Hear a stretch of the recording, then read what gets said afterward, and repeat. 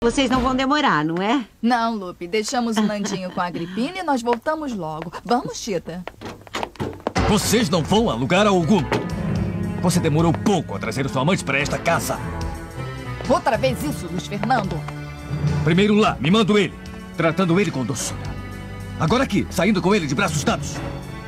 E vocês não têm a mínima vergonha do papel que estão fazendo? Papai, deixa a mamãe explicar. Explicar mais o que se eu já estou vendo tudo?